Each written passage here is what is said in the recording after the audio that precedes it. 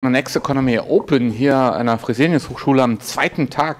Die letzte Session, die wir heute machen. Ja, und das ist diesmal eine ganz besondere Session, äh, weil wir ein Projekt vorstellen können, das mein Kollege Professor Mahmoud Mahmoud und ich gemeinsam machen mit der Uni Oldenburg und äh, mit dem Bundesumweltministerium.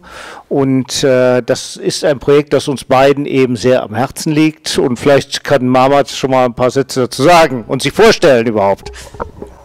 Äh, ich bin äh, Mohammed Mohammed Sadeh, Professor an der Hochschule Fresenius Köln. Äh, mit Herrn Professor Becker äh, letztendlich arbeiten wir das Projekt und Projekt ist eine Fördermaßnahme, äh, die wir gemeinsam mit äh, Oldenburger letztendlich durchführen. Und es geht um Klimaanpassungsmanagement und Lernenorganisation. Wie können wir Klimaanpassungsmanagement oder Klimaanpassungsfragen so aufbereiten, dass Unternehmen oder Projekt- oder Unternehmensmitarbeiter letztendlich später in der Lage sind, eigene Betroffenheiten zu identifizieren und umgehen. Ja, genau, darum geht es eigentlich. Also ähm, wir kennen ja das Thema Klimaschutz und äh, wir wissen alle, äh, dass das Thema Klimaschutz irgendwo an seine Grenzen gestoßen ist. Es hat nicht funktioniert, muss man sagen. Es ist auch eine, eine Bankrotterklärung eigentlich an uns alle. Und äh, jetzt sehen wir einfach, dass sich das Klima verändert. Und wenn man sich die Daten anschaut, die wir im Moment sehen, also zum Beispiel Temperaturanomalien, äh, zum Beispiel auch messbare Anstiege des Meeresspiegels, wird, die jetzt so langsam kommen, äh, weil eben auf der anderen Seite das Eis abschmilzt. Äh, du warst in den Bergen, ich war neulich in den Bergen, da sieht man, wie die Gletscher, wie brutal sich die Gletscher zurückentwickelt haben. Äh, die gleiche Situation halt auch in der Arktis. So, und das hat natürlich bestimmte Folgen. Also das heißt, das Klima verändert sich und äh, Unternehmen sind sehr unterschiedlich von diesem Klima betroffen.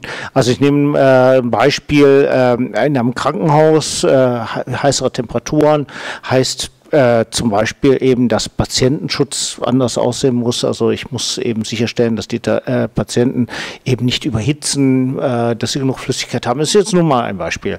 Oder auf der anderen Seite geht es natürlich auch bis in die Hygiene rein. Also das heißt, je wärmer es ist, äh, desto besser entwickeln sich auch Keime im Krankenhaus. Also das hat ganz viele Folgen.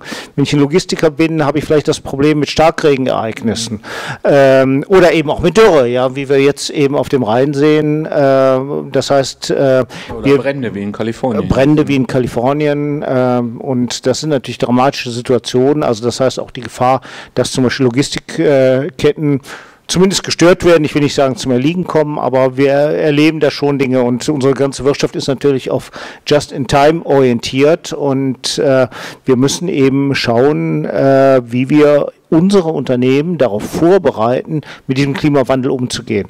Das Problem ist natürlich, dass die Klimabetroffenheit, und da kann Mama Zadeh, äh, Zadeh gleich noch was zu sagen, ja sehr, sehr unterschiedlich ist, auch von Unternehmen zu Unternehmen. Und es gibt nicht nur direkte Betroffenheiten, es gibt auch indirekte Betroffenheiten. Da haben wir auch ein kleines Schaubild zu. Vielleicht zeigen wir das einfach mal. Genau. Das war das erste, genau. Ja, und vielleicht, Mohammed, vielleicht kannst du was zu sagen. Äh, mit der Betroffenheit, äh, äh, schon wurde gesagt, die aktuellen Beispiele, nur ein aktuelles Beispiel, was wir auch in Köln haben, zum Beispiel Störung von Binnenschifffahrt. Das heißt, Pegel, Pegel sinkt am Rhein und davon ist zum Beispiel in Köln Autoindustrie Ford direkt betroffen. Ford produziert täglich 1400 Fiestas in Köln und das wird auch mit dem Schiff jeweils 300 Fahrzeuge transportiert. Und je ein Zentimeter weniger Wasser, das bedeutet, zehn Autos weniger werden transportiert. Mhm. Das zeigt einfach die, die Betroffenheit äh, äh von der Autoindustrie direkt von äh, letztendlich Klimawandel oder Klimafolgen. Ja, und wir selber merken es ja zum Beispiel darin, dass äh, ich bin jetzt bei uns an der Tankstelle vorbeigekommen und da standen dann überall Schilder leer. Ja, also äh, ich wäre vielleicht gar nicht, wenn ich nicht vollgetankt hätte, äh, zum Bahnhof gekommen. Ich fahre ja leider immer noch Benziner. Und diese Betroffenheit, wenn wir Betroffenheit betrachten, Äh, Betroffenheit, äh, was wir sagen, Unternehmen sind betroffen oder wir sind vom Klimawandel betroffen. Betroffenheit ist ein mehrdimensionales Phänomen. Das heißt, was heißt das Betroffenheit? Alle sagen wir betroffen. Bei der Betroffenheit, äh, wie Herr Becker gesagt hat, letztendlich differenzieren wir eine zwischen Art der Betroffenheit, direkte Betroffenheit und indirekte Betroffenheiten. Direkte Betroffenheiten gehen zurück auf natürlich physikalische Auswirkungen, was jetzt wir gesagt haben. Das heißt, durch äh, Binnenschifffahrt, durch weniger Wasser wird ein Autoindustrie direkt betroffen. Indirekte Betroffenheiten sind marktlich oder regulatorisch bedingt. Das heißt Nachfragerückgang oder eine gesetzliche Norm, zum Beispiel CO2-Emissionen müssen wir reduzieren und eine gesetzliche Norm äh, wird verabschiedet oder äh, sagen wir Verpackungsgesetz ab 2019. Das heißt, die indirekt wird ein Unternehmen davon betroffen sein. Vielleicht auch dazu nochmal einen Satz. Fahrverbot. Ja. Das ist, Fahrverbot ist eine, äh, sagen wir, indirekte, Verbot, äh, indirekte Betroffenheit. Mhm. Allerdings indirekte Ver Betroffenheiten gehen auf direkte Betroffenheiten zurück, aber viele Unternehmen, insbesondere in Deutschland, weil die klimatische Lage gut ist im Vergleich zu anderen, in der Regel werden zuerst die indirekt betroffen sein als direkte Betroffenheit. Einige Unternehmen fühlen sich nicht direkt betroffen, aber indirekte Betroffenheit ist das. Entweder durch Gesetz oder durch Nachfrageänderung, Nachfragerückgang oder weiß ich nicht, Nachfrageerhöhung. Ja. Das ist indirekte Betroffenheit. Vielleicht ein Satz dazu. Äh, natürlich Betroffenheit durch Regulatorik und äh, ich kenne das immer aus meinen Business Development und Strategieseminaren, dass eben die Wirkung von Regulatorik einfach massiv unterschätzt wird, mhm. weil durch Regulatorik entstehen neue Märkte. Ähm, ich nehme jetzt ein Beispiel, ich muss irgendwas an der Heizung machen, also neue Grenzwerte, also entsteht ein Markt für Heizungstechnik an der Stelle. Und ähm, es wird sowohl im Positiven als auch im Negativen immer wieder unterschätzt. Also Regulatorik ist ein ganz, ganz starker Faktor für mein konkretes Geschäft. Und deswegen muss man da auch mal genau hingucken. Ja, und neben dieser Art der Betroffenheit haben wir schon einige andere Bestimmungsfaktoren bei der Betroffenheit. Ort der Betroffenheit, Zeit der Betroffenheit, Intensität der Betroffenheit, Häufigkeit der Betroffenheit, Objekt der Betroffenheit. Auch insbesondere, wenn wir bei der Betroffenenanalyse äh, berücksichtigen zwei weitere Dimensionen spielen eine wichtige Rolle. Einmal Ort der Betroffenheit und einmal Zeit der Betroffenheit. Viele Unternehmen führen sich heute nicht direkt oder indirekt vom Klimawandel betroffen. Aber diese Unternehmen nehmen auch eine direkte oder indirekte Betroffenheit in 20 Jahren stärker wahr. Das heißt, wenn man mit Unternehmen spricht, sagt er, okay, ich bin heute nicht betroffen, aber in 2030 werde ich schon betroffen sein, wenn es so weitergeht. Das ist sehr wichtig bei den Anpassungsmaßnahmen. Wie können wir ändern und darüber hinaus Ort der Betroffenheit. Wo sind wir betroffen? Weil wenn wir von Global Player sprechen, von den internationalen internationale Unternehmen, Organisationen sprechen, hier sind nicht betroffen. Aber wenn eine Zulieferer in Lieferantenkette in Bangladesch betroffen ist oder in China betroffen ist, dann hier Unternehmen sind betroffen. Nun gibt es ja bei dem Spiel ähm ob nun direkt oder indirekt betroffen, ja auch immer Gewinner und Verlierer. Ne? Also wenn ich mir anschaue den Pegel des Rheins, also äh, ich bin, glaube ich, noch nie so intensiv Fahrrad gefahren am Rheinufer, weil man natürlich viele Möglichkeiten hatte. Ja, äh, auf einmal hattest du Strand, ja, mhm. und entsprechend waren natürlich auch Aktivitäten, Grillen, äh, die, die, die Strandbars waren voll, äh, also da ist unglaublich viel Umsatz gemacht worden.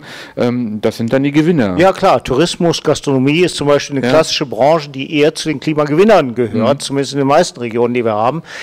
In Alten sieht es schon wieder anders aus.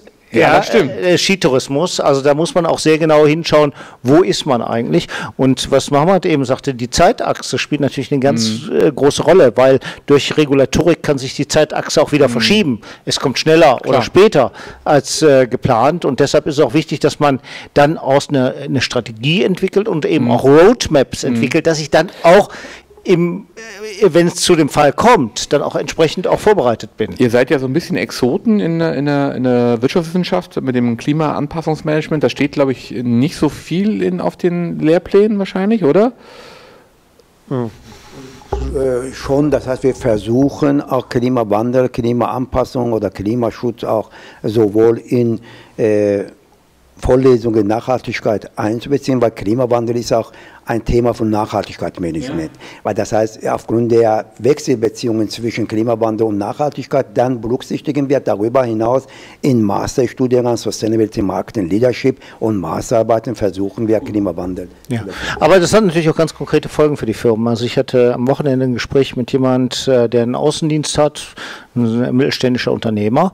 Ähm, der hat seine Autos alle auf drei Jahre geleast, aber jetzt äh, ist das Problem der Fahrverbote. Mhm. Und die müssen in die Städte, die wo äh, die besuchen eben die Karstadts dieser Welt und versuchen da äh, eben äh, oder haben dort eben einen Außendienst. Und das heißt natürlich auch ganz konkrete Fragen, wie organisiere ich denn künftig meinen Außendienst, wenn die nicht mehr in die Städte reinfahren dürfen. Mhm was ich nur sagen wollte, ist bei dem, bei dem äh, Klimaanpassungsmanagement, dass es sagen wir, als wissenschaftliche Disziplin noch eher so ein Außenseiter-Dasein hat, dass ihr ja gar nicht so viel ähm, auf äh, Standardforschung zurückgreifen könnt, sondern das Völlig. ist so eher Neuland. Ja, äh, ja so neu ist das auch nicht. Nein, das, das IPCC zum Beispiel gut. oder so, die gibt es ja schon seit okay, paar Jahren die waren ja und, und, und wollen, wollen klimapolitisch natürlich dann auch aktiv werden. Anpassungsmanagement ist ja noch ein bisschen was anderes.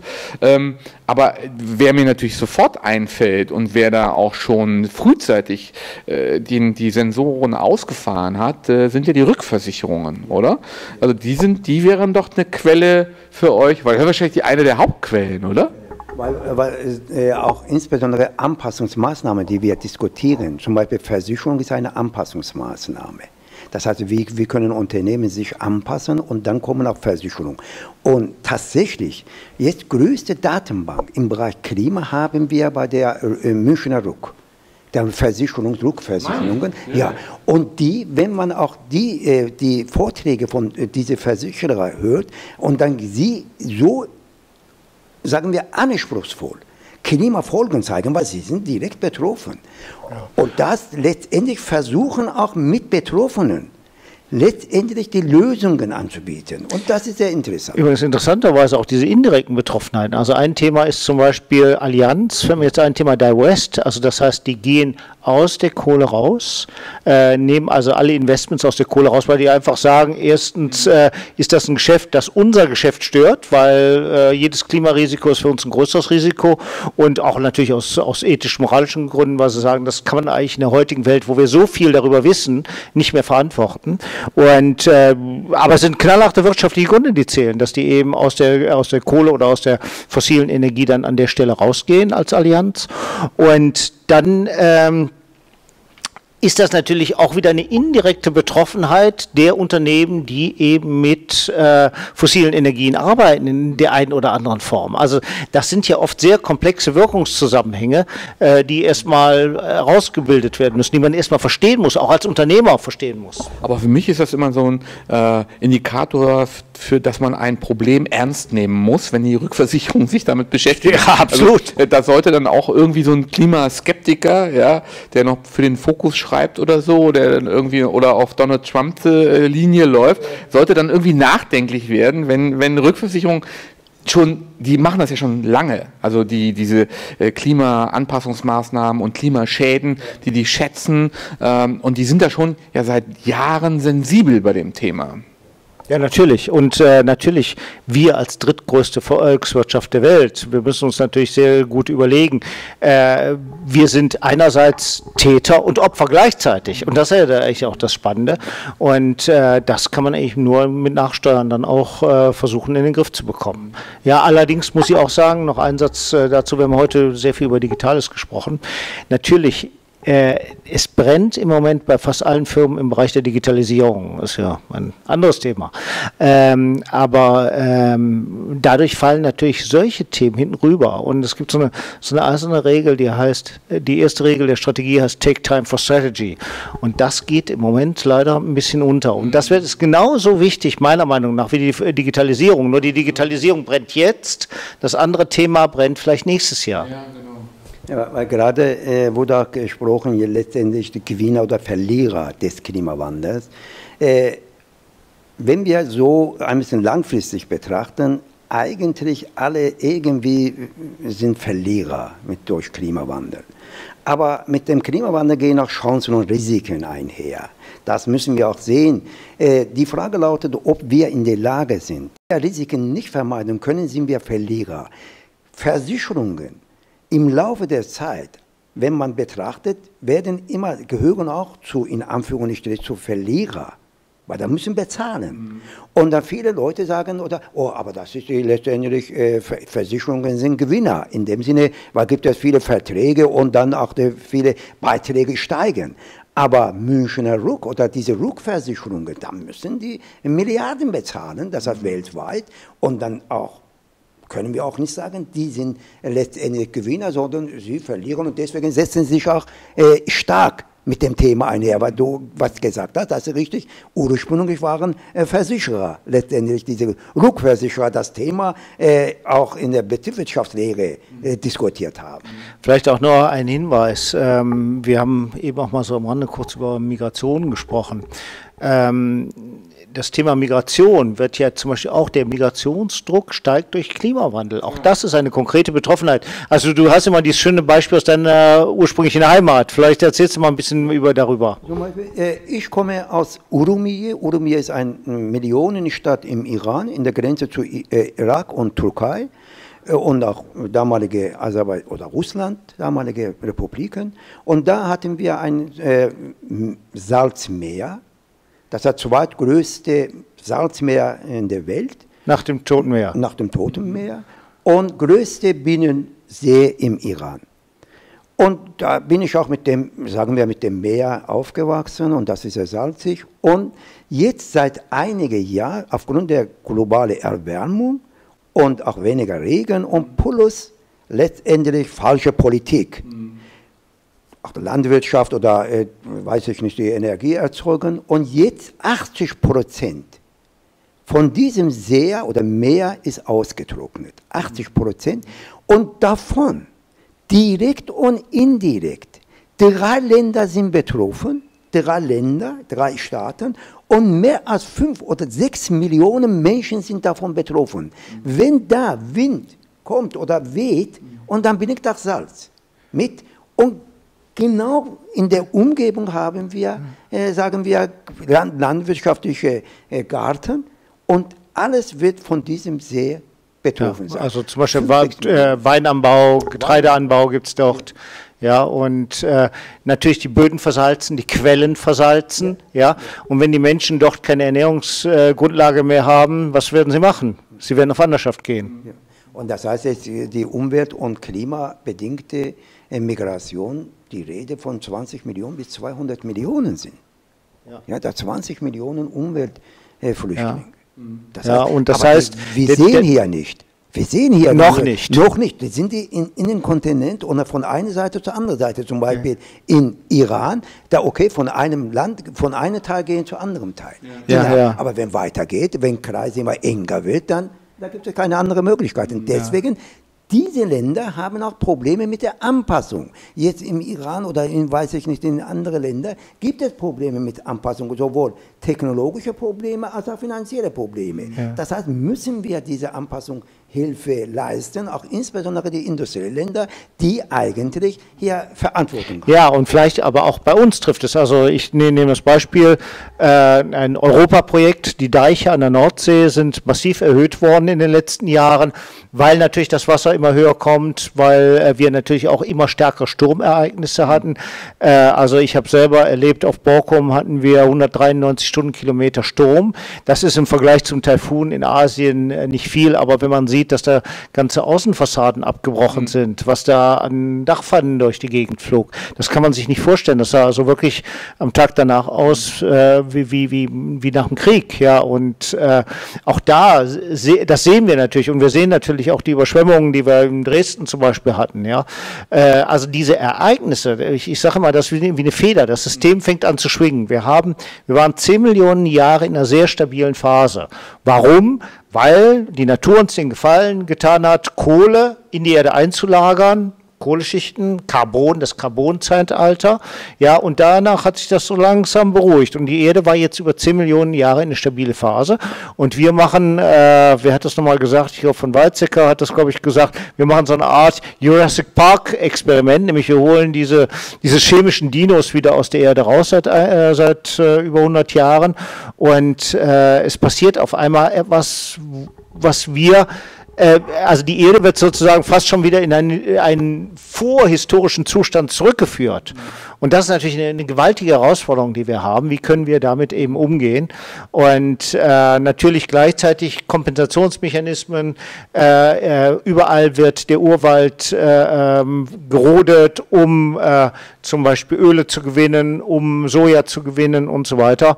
Und äh, gleichzeitig eben durch die Klimaerwärmung, Trockenheit fangen, fangen Wälder an zu brennen. Wir sehen es gerade in Kalifornien zum Beispiel. Ja, Waldbrände sind ein globales Phänomen geworden. Ja, das kann man also statistisch auch äh, belegen. Und äh, das sind natürlich die Herausforderungen, die wir haben. Und, und ganz ehrlich, äh, ich habe heute noch gelesen in einem äh, amerikanischen Journal, äh, die sprachen von einer Death Death Spiral, also einer Todesspirale. Ja, äh, also ich sag mal, ich bin ein optimistischer Mensch, aber da wird es mir ganz, ganz unangenehm an der Stelle. Und deswegen äh, haben wir beide uns auch mit diesem Projekt befasst, weil wir einfach der Überzeugung sind, das geht schief, wenn wir so weitermachen. Äh, nun, äh, die Rückversicherungen beschäftigen sich jetzt seit äh, einigen Jahren schon mit dem Thema. Ähm, ihr baut das halt im, Studium mit ein und konzentriert sich auf diese Geschichte. Ist ein Projekt gefördert, wahrscheinlich auch vom, vom, vom BMU. Aber du hast gerade die, die das Strategiebewusstsein angesprochen, in der Digitalisierung beispielsweise auch, sich damit zu beschäftigen. Da sehe ich eher nicht die Bereitschaft. Also ich habe mal so ein Thema bei so einem Nachhaltigkeitscamp äh, angesprochen, äh, mehr, mehr Ökointelligenz äh, bei, bei digitalen Produkten einzubauen. Ja, ja, ganz wichtig. Internet der Dinge, dass man sag mal, so Kreisläufe anders organisiert und dass Produkte eine Ökointelligenz kriegen. Also es gibt Einzelfirmen, die das machen. Also hier in der Nähe gibt es ein Unternehmen im Bereich Rechenzentren, Prior One, die sich äh, zum Beispiel sehr intensiv darüber Gedanken machen. Die haben auch nicht ja. für alles eine Lösung, muss man auch ganz ja. klar sagen. Aber die sich zumindest schon mal Gedanken darüber machen und sagen, okay, wir wollen unseren Kunden dabei helfen, in diese Richtung zu gehen. Ja gut, aber wenn ich halt diesen, diesen, äh, diese Session anbiete bei so einem Nachhaltigkeitscamp, ja. da kommt nur so oh, müdes äh, Gähnen. Ja. ja. Wenn ich allerdings wieder eine Session mache, Livestreaming äh, für virtuelle Konferenzen einsetzen oder so, ist die Butze wieder voll. Ja, also äh, irgendwie. Wir haben merkwürdige Prioritäten als Menschen. Ja, genau. Also so, äh, zündet das Thema noch nicht. Nein, es zündet nicht. Und insbesondere, ähm, wir hatten also auch Workshops gehabt, zum Beispiel mit, mit einer Kammer. Und jetzt im Nachgang zu dem Workshop wurde noch, mir auch nochmal gesagt, ja Leute, ja, ja, war in Wuppertal. Äh, also bei unseren Unternehmen brennt die Luft insofern, dass die, dass die Wirtschaft boomt. Ja. ja. Die haben keine Leute, die arbeiten am Limit, ja, und äh, die haben überhaupt nicht die Zeit, sich mit solchen Zukunftsthemen zu befassen. Das ist nicht nur das Thema. Die tun sich auch schwer beim Thema Ausbildung. Auf der einen Seite kriegen sie keine Leute, aber ja. sie machen sich auch haben auch keine Zeit, sich Gedanken zu machen, wie sie jetzt äh, die Leute bekommen. Und ähm, da haben wir also wirklich an der Stelle ein Problem. Und es ist natürlich so, dass gerade auch im Boom immer schon die Krise versteckt ist. Mhm. Und die Krise kommt eben daraus, äh, auch daher, dass man keine Zeit hat, sich mit Zukunftsthemen zu befassen. Und das ist auch das Problem, was wir im Klimabereich oder insbesondere Klimaanpassungsmanagement äh, in Unternehmen haben. Äh, das Problem oder die Betroffenheit, weil die nicht direkte Betroffenheit, sagen wir, vorliegt viel, bei vielen Unternehmen, äh, dann sagen, okay, wenn ich nicht betroffen bin, warum soll ich irgendwas machen mhm. bei der mhm. Anpassung? Und das ist auch interessant, wenn man auch einige Unternehmen auch sagen, ja, wenn äh, ohne Hochwasser, warum soll ich Deich bauen? Mhm. Ja?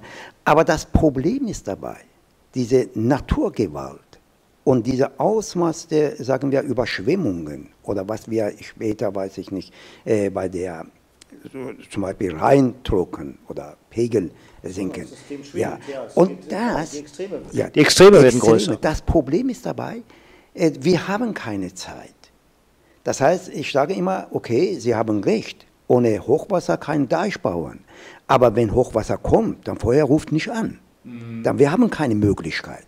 Wir müssen pro, proaktiv, offensiv uns mit diesen Themen auseinandersetzen. Gerade da versuchen wir jetzt bei diesem Projekt ansetzen, wie können wir Unternehmen in der Lage setzen, ihre Betroffenheit zu identifizieren und sagen, wo bin ich betroffen? Mhm. Weil äh, Lutz hatte Just-in-Time-Belieferung gesagt.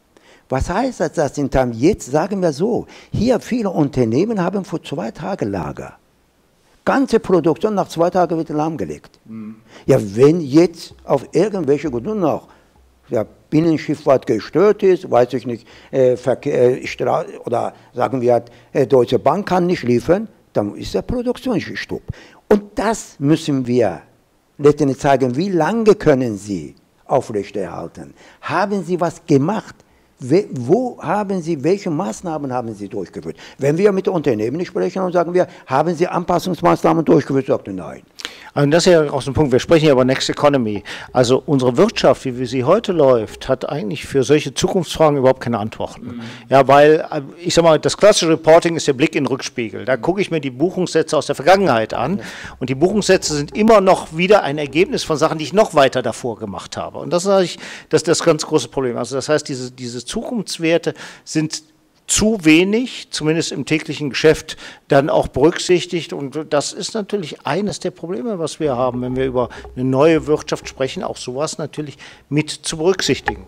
Und dann natürlich auch Freerider-Verhalten. Ne? Also, natürlich, dass man halt ja. äh, Trittbrettfahrer spielt, äh, in verschiedensten Szenarien, ja, solange es geht. Ja, natürlich. Und das äh, ist natürlich so, dass zum Beispiel eben äh, bestimmte Kosten nicht eingepreist werden. Das berühmteste Beispiel sind die Ewigkeitskosten. Ja, der Staat hat der Nuklearindustrie jetzt äh, große Mengen äh, äh, Abfall abgekauft, wo wir alle wissen, ja, dass das nicht annähernd die Kosten decken wird, die, äh, die uns bevorstehen. Ja, Herausforderung für unser Gemeinwesen, die dadurch entstehen. Da entstehen die Kosten entstehen, ja, aber wer bezahlt es? Letztlich werden die Kosten sozialisiert, also das heißt, die Kosten werden vom Steuerzahler, vom kleinen Mann getragen. Das heißt, wieder nochmal hier direkte Betroffenheit oder indirekte Betroffenheit, die versuchen wir auch im Projekt, diese auch äh, letztendlich zu äh, operationalisieren. Das heißt, auf der, auch der Workshop wir anbieten, dann gehen wir das, okay, wie, wie kann zum Beispiel direkte Betroffenheit bei, in der Autoindustrie aussehen, was heißt indirekte Betroffenheit, wie können wir, welche Maßnahmen können wir letztendlich hier einbeziehen. Die beziehen sich auf die, die Klimaanpassungsseite und das ist für insbesondere für Betroffenheit, Analyse von Maßnahmenanalyse mhm. später wichtig. Wenn ich weiß, ich bin indirekt betroffen oder ich bin direkt betroffen durch weiß nicht, Sturm oder äh, Hagel, dann überlegt Unternehmen, kann ich vielleicht, wie kann ich eine Maßnahme durchführen, zum Beispiel Hagelversicherung. Mhm. Ja, Hagelversicherung ist eine Anpassungsmaßnahme. Indirekte Betroffenheit, marktliche Betroffenheit, wenn zum Beispiel Nachfragerückgang. Und wie, wie kann ich reagieren? Oder Weil es nicht negativ sein muss. Also es können ja auch Chancen sein, dass die ja. Klimaanpassungsmärkte auftun. Ja, das ähm, ihr macht ja auch Exkursionen, ähm, beispielsweise an die Nordsee, äh, ja. macht auch Exkursionen in die Alpen. Ähm, also nein, äh, aber das hat einfach logistische und teilweise auch wirtschaftliche ja. Probleme. Zur Nordsee komme ich relativ billig mit meinen Studenten. Alpen ist schon deutlich teurer. Aber ähm, ich sehe seh davon da auch äh, wichtige Klimaanpassungsmaßnahmen, ja, die eigentlich auf der Tagesordnung stehen müssten. Natürlich. Die ich sag mal in den touristischen Zentren in Österreich zumindest nicht so richtig sehe. Nein. Ich sehe eher die Antwort, dass man dann halt noch mehr mit Schneekanonen arbeitet, ja. dass man noch mehr Erosions Schäden produziert, ja. dass man noch mehr auf Massentourismus äh, setzt. Also äh, mir ist das jetzt in, äh, im, im, Österreich Südtirol Urlaub, also ich war in Kärnten und in Südtirol aufgefallen, dass man sehr, sehr stark diese massentouristische Karte zieht, ja, ähm, um noch rauszuholen, was rauszuholen ja. geht. Aber irgendwie habe ich das Gefühl, äh, kippt es jetzt schon. Doch. Ja, genau. Also wenn du in den Bergen bist, wenn du diese elenden Schotterpisten siehst, ja. die dann äh, verrohrt sind für die Schneekanonen und weiß nicht was. Genau. Ja. Ich sag mal, es, der Trend geht Richtung Sommertourismus, wenn es weitergehen soll. Ja, ja? also es, es, und, und, und, es wird genau in Wintertourismus investiert. Ja, wo genau. muss man sich überlegen, diese, genau. äh, äh, diese Schwierigkeit, die daraus entstehen. Und ich meine, das ist natürlich nicht einfach für diese Destination. Ja. Es wird eine Verschiebung geben im Tourismus, da sind wir uns äh, darüber im Klaren. Jahren. Äh, sicherlich wird es auch eine Verschiebung geben müssen. Der Ferntourismus ist natürlich einer der Hauptklimakiller. Mhm. Ja, da werden wir uns auch Lösungen anbieten müssen. Und ein Aspekt ist natürlich immer, und das ist der regulative Eingriff, es wird früher oder später äh, bepreist werden. Die mhm. CO2-Steuer wird kommen. Ja, mhm. und die Flüge können nicht mehr so billig bleiben. Und das sind natürlich auch äh, äh, Dinge, wo sich unsere Wirtschaft auch in ihren Grundfesten verschiebt. Mhm. Interessant vielleicht in dem Zusammenhang, was wir jetzt auch festgestellt haben in unseren Workshops, es gibt durchaus da, das ist natürlich auch eine zukünftige Möglichkeit, sich für Nachwuchsführungskräfte sich zu positionieren. Weil wir haben ja immer wieder die Frage, ja, dass es ein Problem gibt, wissen die meisten. Ja, wie konkret das Problem ist, hm, schon weniger. Was man dann auch konkret machen kann, ja, schon mal gar nicht. Und dann die letzte Frage, wer macht es dann? Dann sind sie völlig blank. Ja? Mhm. Und das gibt natürlich wieder Führungskräften, die vielleicht so ein paar Jahre Berufserfahrung schon gesammelt haben, sagen, okay, da kann ich mich positionieren, damit kann ich mich natürlich auch so ein bisschen unkündbar machen. Mhm. Ja, das, das wäre ja auch ein Signal dann an die Studierenden, dass das eigentlich jetzt ein Zukunftsfeld ist, Natürlich. was noch viele belächeln, aber vielleicht in fünf oder zehn Jahren dann also der absolute Bringer ist. Ja, und wir äh, als äh, in unserem Studiengang Sustainable Marketing und Leadership ist es ja so, dass wir nicht so den Nachhaltigkeitsmanager ausbilden, den mhm. klassischen mhm. Nachhaltigkeitsmanager. Das machen ein paar, aber wir sagen eigentlich, äh, wir brauchen eigentlich in allen Bereichen, im Marketing, im, in, der, äh, in der Supply Chain, brauchen wir Leute, die was von Nachhaltigkeit wirklich verstehen. Mhm. Ja, und da sehen wir unser, unser Potenzial, dass wir eben äh, diese, also ist, unser Studiengang ist ein generalistischer Managementstudiengang mhm. mit einer moderaten Spezialisierung im Bereich der Nachhaltigkeit mhm. und im Bereich des Marketings natürlich. Ähm, und damit glauben wir eben auf eins dieser gesellschaftlichen Probleme auch entsprechend anzusprechen. Also ihr bildet nicht den klassischen CSR-Manager aus. Nein, oder? nein, mhm. nein. Ja. Und auch wenn wir hier über Klimaanpassung und lernende Organisation sprechen, sprechen, dann sind das Management-Themen, die wir machen.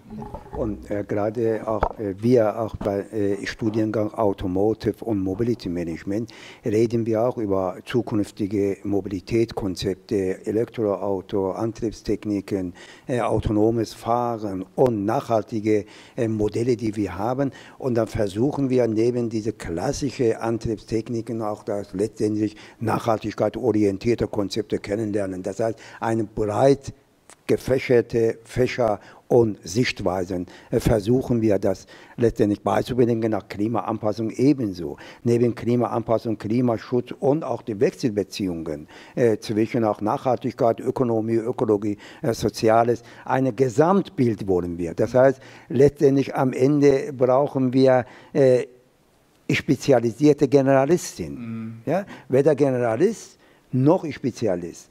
Aber wir brauchen spezialisierte Generalisten auch. Das heißt, nur Klimaanpasser oder Anpassungsmanager können überhaupt nicht machen, ohne wie funktioniert zum Beispiel Unternehmen oder was heißt das Supply Chain Manager. Es gibt natürlich die klassische Karriere der Klimaanpassungsmanager, das machen andere Hochschulen ganz ja. hervorragend auch, aber das ist jetzt nicht unser Fokus. Ja, also wenn ich jetzt explizit sage, ich möchte der äh, äh, äh Klimaschutzverantwortliche äh, im Unternehmen werden, dann geht man besser zu einer anderen Hochschule. Ja. Wir sagen, wir bringen Leute in die Linie oder ins Projekt rein. Ja. Aber das ist ja auch, glaube ich, ein wichtiger Punkt, ne? dass man dann äh, in unterschiedlichsten Anwendungskontexten dann das Know-how dann auch mitbringen kann. Ganz ne? genau. Und es gehört natürlich auch dazu, und deswegen machen wir auch solche Projekte, dass wir neues Know-how sozusagen auch erarbeiten. Also immer wieder dieses Spiel, was wir lehren, äh, sollte ja nicht unbedingt das Lehrbuchwissen sein. Also mhm. ich kriege immer Pickel, wenn ich Lehrbücher sehe, sage ich mal, schon seit meiner Schulzeit. Aber das ist was anderes. Nein, aber der Punkt ist natürlich,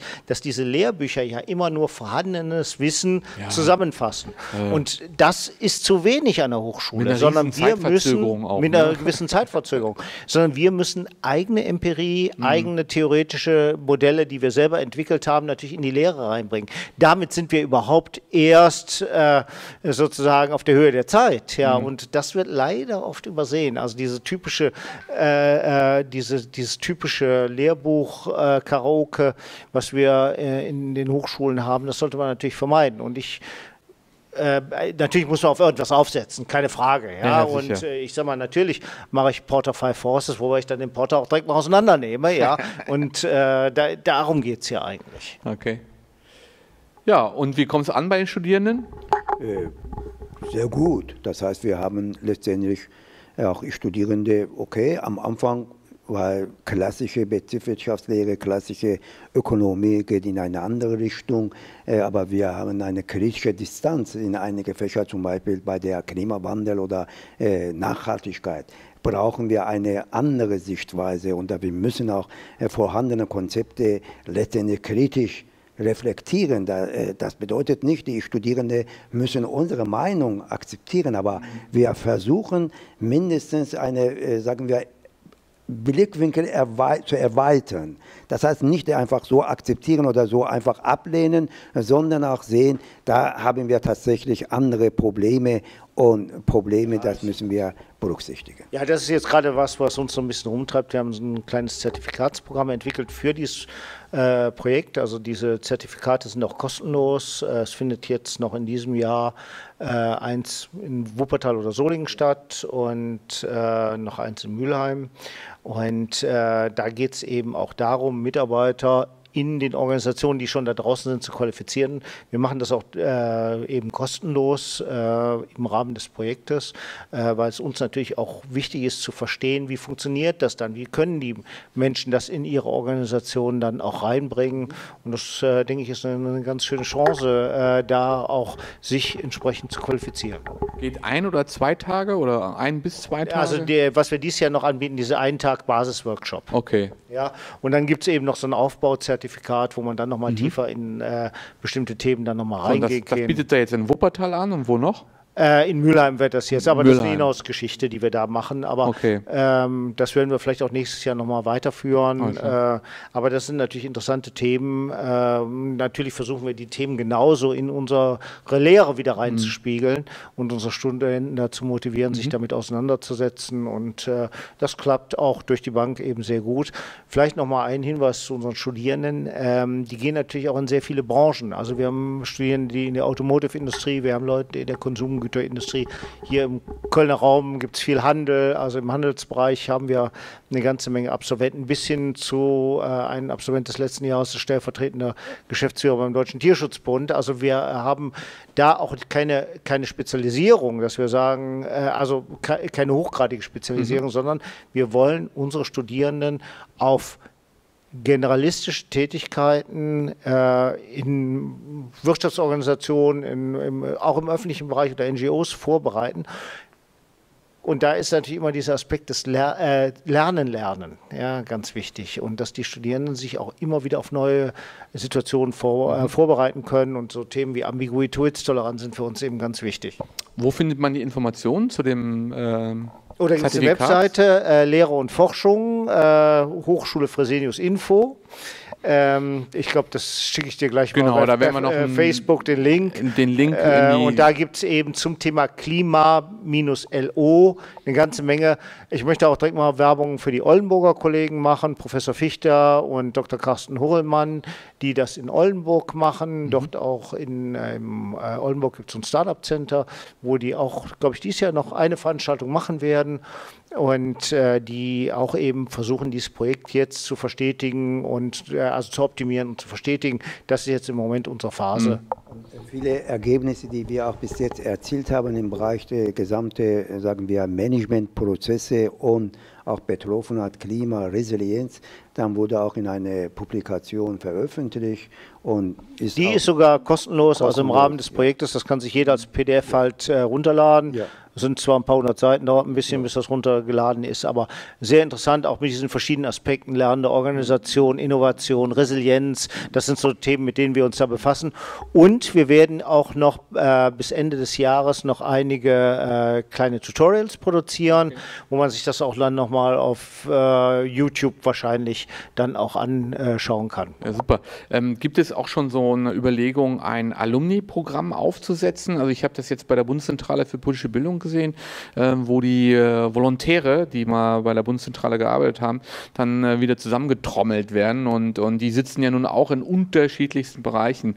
Äh, die, die einen sind in, in politische Organisationen gegangen, die anderen in Unternehmen oder Stiftungen oder sonst wie. Ähm, und äh, das sind ja, das sind ja, sag mal, Entscheider. Ja, ja, diese Netzwerke sind wahnsinnig interessant. Ja, also ich Justus Haukamp und ich haben ja auch gerade festgestellt, dass wir im gleichen Netzwerk dann irgendwo sind außerhalb der Ökonomie. Und das ist natürlich immer ganz wichtig, dass man sich entsprechend mhm. vernetzt.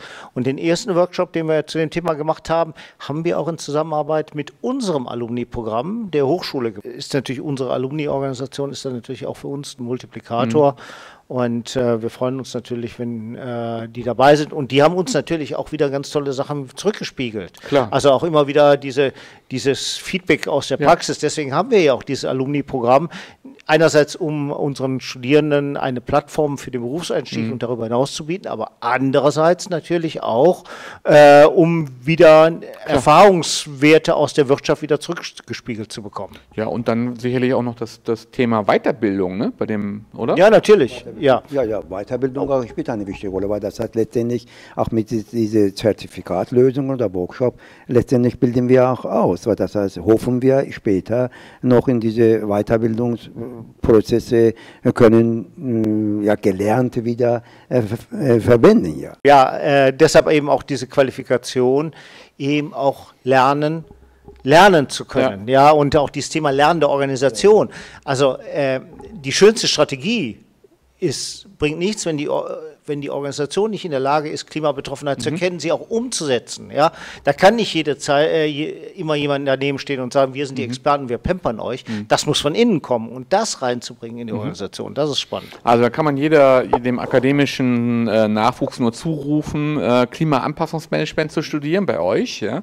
Äh, die Informationen. Also Sustainable Marketing Leadership genau. Dann, oder beziehungsweise im Automotive-Bereich natürlich. Mohammed ist ja auch Studiengangsleiter für Automotive and Mobility Management. Also immer ganz wichtig, genau. also weil wir denken natürlich auch äh, Mobilitätskonzepte. Genau. Alle Informationen dann auf der Website, den äh, Link liefern wir nach ähm, in die Videoerklärung. Ne? Und äh, vielen Dank.